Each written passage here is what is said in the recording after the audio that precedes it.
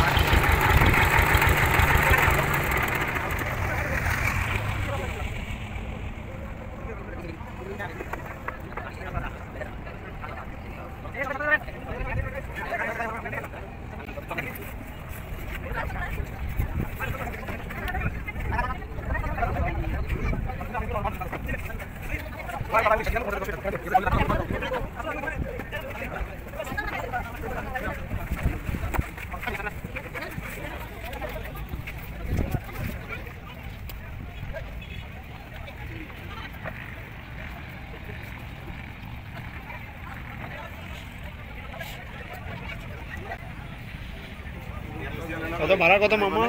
দশ টাকা দশ টাকা। ভাড়া। ভাড়া দিলেন আতা দিয়ে ভাড়াটি আতা দিয়ে ভাড়াটি দিলেন ভাড়া দিন ভাড়া দেন কে কার সাথে ভাড়া দেন এ সিঁড়ি ফালায়েন না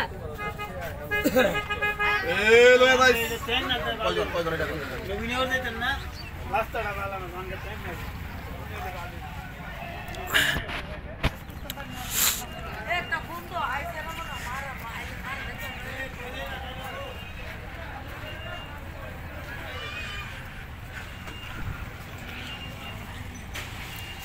প্রিয় ভিউয়ার্স আমরা দশ টাকা দিয়ে আহ, ট্রলারে পার হইলাম। আহ, ট্রলারে পার হইলাম হচ্ছে নবীনগর থেকে কৃষ্ণনগরে যাচ্ছি। ওই যে যে সাইডটা দেখতে পাচ্ছেন ওই সাইডটা হচ্ছে আপনার নবীনগর। তো নবীনগর থেকে এইখানটায় আমরা ট্রলারে পার হলাম বাইক টাইক যাই আছে সবাই পার হচ্ছে। মূলত আমরা যে গাড়ি নিয়ে আসছি গাড়িটা ওই পাশে রেখে আসতে হয়েছে। কারণ গাড়ি তো এখানে আনার মতো অবস্থা নেই। যেহেতু ট্রলার, তো গাড়িটা ওইদিকে রেখে আমরা ট্রলারে পার হলাম। তো এখন আমরা যাব হচ্ছে কৃষ্ণনগর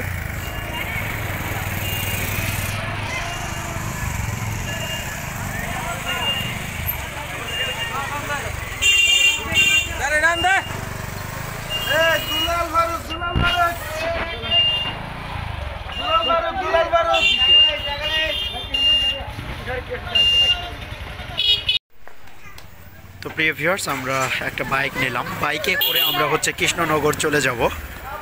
ঠিক আছে ভাই, একটু সামনের দিকে আগা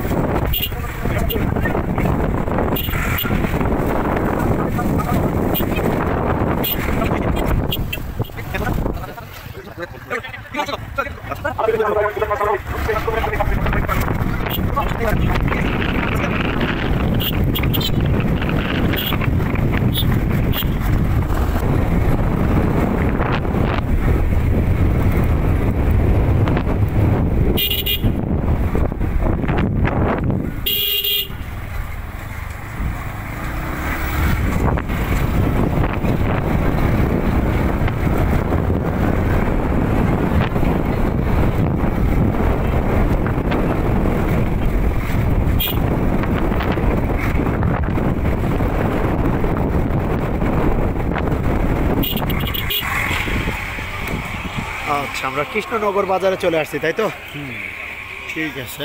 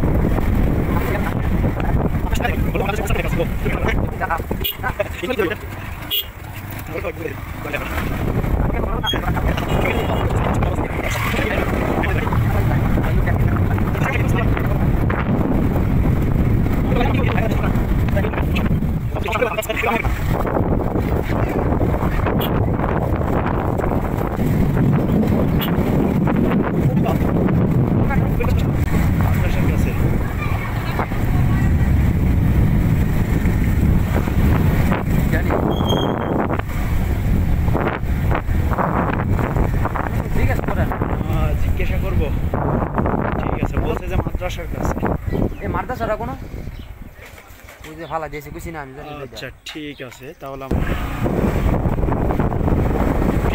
আমরা ভুল পথে চলে গেছে পিছন দিকে। কারণ হচ্ছে আমি এই এইখানে কখনো আসি নাই, এই প্রথম আমি আসলাম। মানে এই বাড়িতে, এটা হচ্ছে রফিক ভাইয়ের বাড়ি। রফিক ভাই হচ্ছেন একজন কুয়েত পুরবাসী। তিনি কুয়েতে থাকেন। তো আপনি একটা কাজ করেন ভাই, আপনি এইখানে থাকেন। আমার যতটুকু ধারণা, এই ভিতরে হ্যাঁ কারণ আমি দেখতে পাচ্ছি ওই ইটের কোনা মোনা কিছু একটা দেখা যাচ্ছে ভিতরে। তো আপনি এখানে থাকেন, আর না হলে আপনি আসতে পারেন। বাইকটা লক করে আসতে পারেন, ঠিক আছে?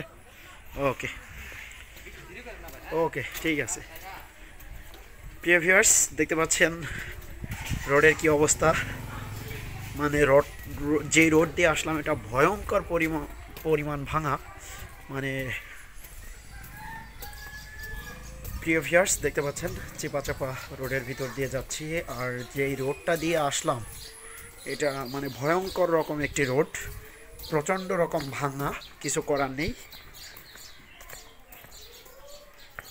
তো জাস্ট আমি আপনাদেরকে এটাই দেখাতে চলেছি যে আমরা কোথায় পৌঁছে গেছি, আমরা কোথায় পৌঁছে গিয়ে কাজগুলো করে দিচ্ছি। একদম যেটা বলে থাকি যে এমএইসি কনস্ট্রাকশন লিমিটেড বাংলাদেশে প্রত্যন্ত গ্রাম অঞ্চলে গিয়ে বাড়ি করে দিচ্ছে যেইখানটায় কোনো রকম মানুষ যেতে প্রবলেম হয়, সেইখানটায় আমরা কীভাবে বাড়িগুলো করে দিচ্ছি? জি জি, আসব। আমি একটু প্রজেক্ট থেকে ঘুরে আসি আগে। খানা খাব ইনশাল্লাহ তার, আমি খেয়ে আসছি, বুঝছেন? আচ্ছা ঠিক আছে, সমস্যা নাই, আমি আগে একটু প্রজেক্টটা ঘুরে দেখে আসি। তো, প্রিয় রফিক ভাইয়ের ওয়াইফ ভাবি তিনি পিছন থেকে আমাকে দেখছে যে আমি আসছি, কারণ আসার আগে ফোন দিয়েছিলাম। কিন্তু আমি দেখি নাই। তো পিছন থেকে যখন ডাকলো, পিছন ফিরে তাকিয়ে দেখি সে। তো যাই হোক, খাবারের কথা বলল। ইনশাল্লাহ খাব। তো দেখতে পাচ্ছেন এটা হচ্ছে ইটের কণা এবং এটা হচ্ছে বালি, সিলেকশন বালি, এগুলো ঢেকে রাখা হয়েছে।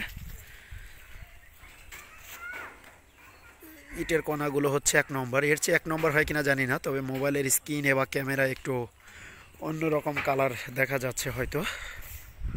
এটা হচ্ছে আমাদের বিল্ডিং।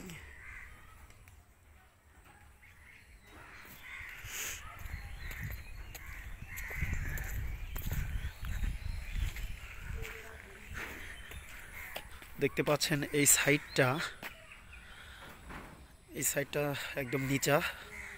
ইটের গাঁথনি দিয়ে ওঠানো হয়েছে। এটা হচ্ছে out of building costing building কস্টিংয়ের বাইরে। হয়তো আপনারা ভাবতে পারেন যে এটা হয়তো এই বিল্ডিংয়ের সাথে করে দিচ্ছে না। এটা হচ্ছে একটা বাউন্ডারি জাস্ট এটা একটা বাউন্ডারি এইখানটায় টিউবওয়েল করা হয়েছে। দেখতে পাচ্ছেন, এই ইটাগুলো আগের ছিল, এইটা মূলত আমাদের না। কারণ ইটাগুলো ভালো না, পুরানো। আর দেখতে পাচ্ছেন কতটা গভীর এইখানে। আমি জাস্ট একটু আন্দাজ করার জন্য ক্যামেরাটা ধরে বোঝাচ্ছি। এটা মূলত একটা বিল এবং হচ্ছে নদী।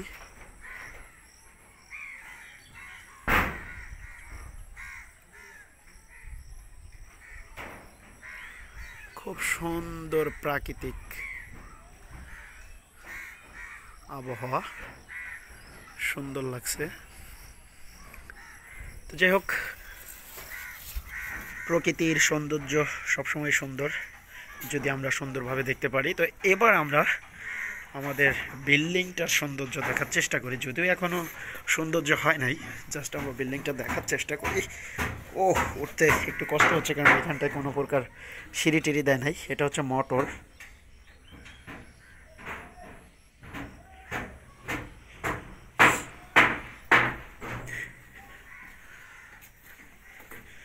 এটা হচ্ছে টয়লেট।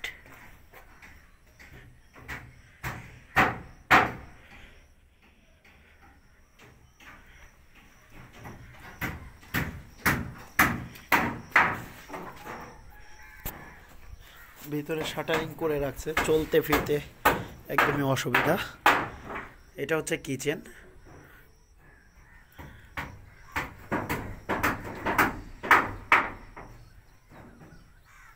একদম কয়েকদিনে বৃষ্টি পরে একদম শ্যাওলা পড়ে গেছে।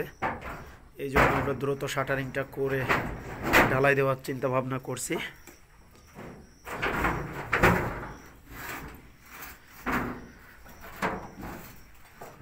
বাঁশ তো অনেক বেশি ব্যবহার করছেন সেই জন্য তো ভিতরে চলাফেরা যাচ্ছে না।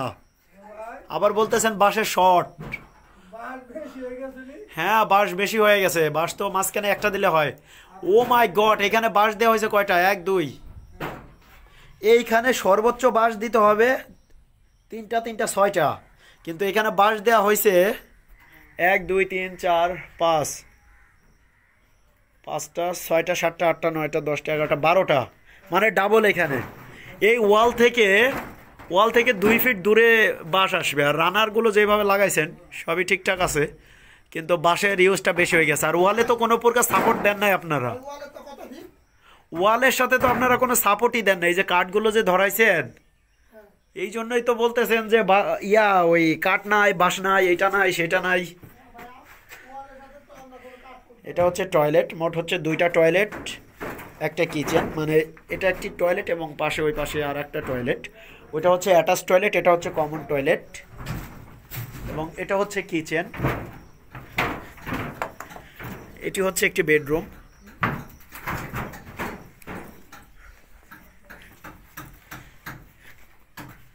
এটি হচ্ছে আরেকটি বেডরুম এবং এইটার সাথে একটি অ্যাটাচ টয়লেট রয়েছে। মোট এটার সাথে হচ্ছে তিনটি টয়লেট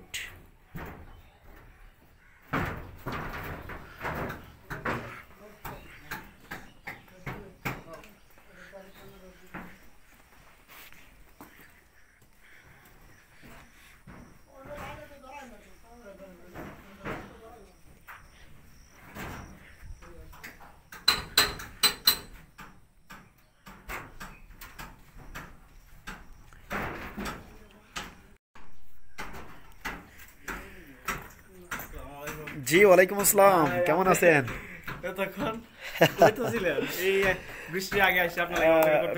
আচ্ছা বিষয়টা হ্যাঁ খাওয়া দাওয়া করছি।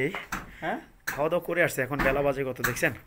আমি একটু ভিউয়ার্সদের দেখাচ্ছি যদিও ইউটিউবে অনেক দিন যাবত কোনো আপডেট দেওয়া হয় না এক শারীরিকভাবে একটু অসুস্থ ছিলাম এখন আলহামদুলিল্লাহ ঠিক আছি। আর দেখছেন মাত্র কয়েকদিনে শ্যাওলা পড়ে গেছে বৃষ্টির পানিতে। আর ভাই তো সিভিল ইঞ্জিনিয়ার নাকি? যাক ভাইয়ের নাম ভাইকে একটু পরিচয় করাই দেই। রনি। আচ্ছা মোহাম্মদ রনি ভাই একটু ঘুরেন আপনি আপনার সাথে একটু কথা বলি। আপনাকে একটু আমার ভিউয়ার্স দেখুক প্লাস আপনার যে দুলাভাই আছে তিনিও একটু দেখুক আপনাকে।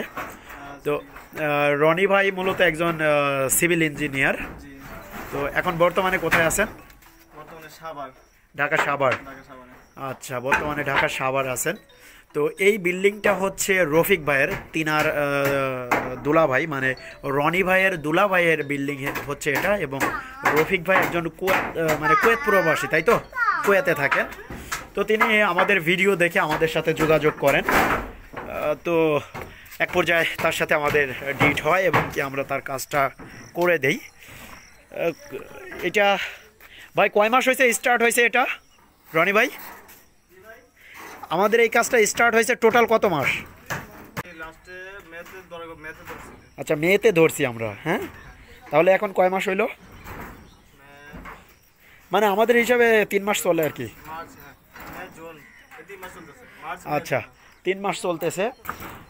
এই তিন মাসে দেখতে পাচ্ছেন আমাদের সমস্ত ইটের গাঁথনি শেষ এবং হচ্ছে শাটারিং শেষ। ইনশাল্লাহ আর দুই চার দিনের মধ্যে সার ঢালাই হয়ে যাবে। তো সার ঢালাই হইলে বলা চলে আমাদের এই বিল্ডিংয়ের সেভেন্টি ফাইভ পার্সেন্ট কাজ শেষ। এরপর যেটা থাকবে, শাটারিং খুলে প্লাস্টার। গ্রিল এবং হচ্ছে দরজার চৌকাটগুলো লাগাইলে, দেন আমরা এটা প্লাস্টার করতে পারি। এবং এরপর বাকি থাকে টাইলস টাইলস ফিনিশিং তো যেটা দেখা যাচ্ছে যে আমরা এখন যেটা বলে থাকি যে আমরা পাঁচ মাসের মধ্যে সিভিল কনস্ট্রাকশনের কাজটা শেষ করে দেই মানে রং বাদে প্রিন্টিং বাদে। কারণ রংটা তো আর সাথে সাথে করা যায় না। সাথে সাথে করলে যেটা হয় এটার মানে স্থায়িত্ব বেটার হয় না হ্যাঁ? তো সেই জন্য আমরা মোটামুটি দুই তিন মাসের একটা গ্যাপ দিয়ে পরে রঙের কাজটা করে দেই। তো এইটায় আমরা এই আন্দাজটা করতে পারি যে আমাদের মোটামুটি পাঁচ মাসের মতোই সময় লাগবে। কারণ তিন মাস তো অলরেডি চলে গেল। এখন আমরা যদি সার ঢালাই দিই, সার ঢালাই দিলে মোটামুটি আমাদের ইয়ে রাখতে হবে, বাইশ দিন রাখতে হবে। আমাদের লেবার মিস্ত্রি এসে যদি এইগুলা খুলে, সেই ক্ষেত্রে আরও চার পাঁচ দিন সময় লাগবে। এক মাস চলে যাবে অ্যাভারেজে তাহলে এক মাস আর হচ্ছে তিন মাস, চার মাস। তো চার মাসে মোটামুটি ইটের গাঁথনি, সার, ডালাই টালাই সব কমপ্লিট এরপরে দেখা যায় প্লাস্টার করলে আরও দেড় মাসের মতো সময় লাগবে। তো অ্যাভারেজে আমরা এটা বলতে পারি যে সাড়ে পাঁচ মাস সময় লাগবে। সাড়ে পাঁচ মাসে বিল্ডিংয়ে মানে থাকা যাবে বা থাকার মতো অবস্থা আমরা তৈরি করে দিতে পারব। একমাত্র রং বাদে। তো ইনশাল্লাহ দোয়া করবেন আমাদের জন্য। আর এখানটায় আরেকটু দ্রুত হতো কাজ, এই যে যে তিন মাস চলমান, এখানটায় আমাদের যারা মিস্ত্রি ছিল, তারা ঈদের ছুটিতে বাড়ি গিয়েছে, ঈদের কয়েকদিন আগে গেছে এবং মোটামুটি ঈদের পনেরো দিন পরে আসছে, নাকি ভাই? পনেরো দিন পরে আসছে না? হ্যাঁ ঈদের পনেরো দিন পরে আসছে, তো এইখানটায় অনেক বড় একটা গ্যাপ হয়ে গেছে। অ্যাভারেজে আমাদের এইখানটায় আমাদের হিসাবে কাজ হইতে হয়েছে দুই মাস ঈদের ছুটি সব কিছু মিলাইয়া দুই মাসের মতো আমাদের এইখানটায় কাজ হয়েছে। তো ইনশাল্লাহ আমি এটাই বলতে পারি যে কাজ শুরুর পর একদম শুরু থেকে মোটামুটি পাঁচ মাস এবং কি সাড়ে পাঁচ মাসে আমরা থাকার যোগ্য করে দিতে পারছি। এটা হচ্ছে কনসেল বিম হচ্ছে, এটা দোতলা ফাউন্ডেশন। আমরা ইটের গাঁথনি করে একবারে কনসেল করে দিচ্ছি। যদিও আমরা ইটের গাঁথনি সব সময় সব জায়গা করি না, এটা জায়গা ভেদে করি। কারণ এই যে যে অবস্থা, এখন আর কয়েকদিনের মধ্যে এই পুরো জায়গাগুলো বন্যায় ভেসে যাবে, নাকি ভাই? কয়েকদিন পরেই বন্যার পানি চলে আসবে অলরেডি চলে আসছে, দেখতে পাচ্ছেন। তো সেই জন্য আমরা মূল যে কাজগুলো, এগুলো মানে চাপিয়ে রেখেছি। এখন যেই কাজগুলো, এগুলো খুব বেশি একটা ম্যাটার করবে না, কারণ আমাদের এইখানটায় যেই ইটের কণা আছে, এই কণা এই ছাদ হবে ফ্লোর টোলোর হয়েও অনেক বেশি হবে। এবং কি যে বালিগুলো আছে। তো তারপর আমরা যেটা করব কিছু বালি টালি এনে রেখে দেবো প্লাস্টার এবং টাইলস লাগানোর জন্য। তবে মূল যে বিষয়টা ভাই আপনাদের এই এইখানটায় যাতায়াত খুবই বাজে এবং হ্যাঁ বাজে এবং খুবই খারাপ অবস্থা। কারণ আমি যেটা করছি আমি হচ্ছে ওই ঘাটে। ঘাটটা কোন দিকে? মানে যেই ঘাট থেকে হ্যাঁ আমি নবীন নবীনগর দিয়ে আসছি। নবীনগরের ওই সাইডে গাড়ি টাড়ি রেখে ট্রলারে পার হয়ে এইদিকে বাইক নিয়ে আসছি। হ্যাঁ।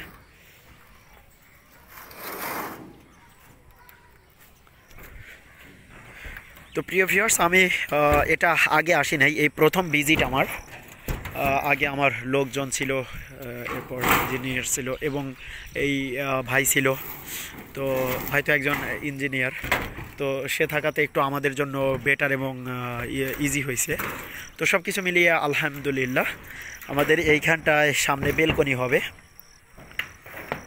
তো বেলকনির জন্য রড টট সবই বের করে রাখা হয়েছে। হ্যাঁ? তো এই প্ল্যানটা হচ্ছে আমরা ইউটিউবে আপলোড করছি। এটা হচ্ছে ওই সন্দীপের কথা বলে আপলোড করছিলাম নাকি? হ্যাঁ ওই যখন আমরা ভিডিওটা আপলোড করি এরপরেই ভাই আর কি ওই ভিডিওটা দেখে বলে যে, মামুন ভাই, আমাকে এই বাড়িটা করে দেন। মূলত কিন্তু তার সাথে আমাদের অন্য একটা ডিজাইনের কন্ট্যাক্ট হয়েছিল ডিট হয়েছিল। নাকি ভাই?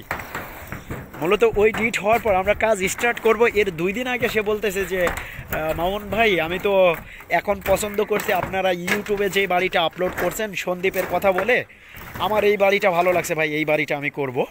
তো আমি বললাম যে জি ইনশাল্লাহ আমরা করে দিব। তো এরপরেই আমরা আর কি এটা করে দিচ্ছি। সেই রকম মানে প্রাকৃতিক দৃশ্য পরিবেশ। পুরা সবুজের মাঝে আছি আমরা নাকি রুনি বেললো কথা কোন এনেন তো এটা কথা কোন রফিক ভাই। প্রিয় ভিউয়ার্স দেখতে পাচ্ছেন এটা হচ্ছে আমার লোকজনদের থাকার জায়গা। মূলত থ্যাংক ইউ ভাবি বলতেছে কত সুন্দর করে বানায় ফ্যান ট্যান লাগাই দিছি দেখেন। তো ভাবিকে অসংখ্য ধন্যবাদ। আমাদের সংসার। হ্যাঁ আমাদের ছোট সংসার। সুন্দর তো ডাটা হয়েছে। ঠিক আছে বাড়িটা এরকম হচ্ছে সামনে বেলকনি হবে। তো কমপ্লিট হলে ইনশাল্লাহ খুব সুন্দর লাগবে। সামনে থেকে মাটি কেটে কি ভিতরে দেওয়া হয়েছে? ভেরি গুড তাহলে চলেন আমরা যাই। এই রনি ভাই চলেন। তো প্রিয় ভিউয়ার্স সবাই ভালো থাকবেন সুস্থ থাকবেন। আসসালামু আলাইকুম আল্লাহ হাফেজ।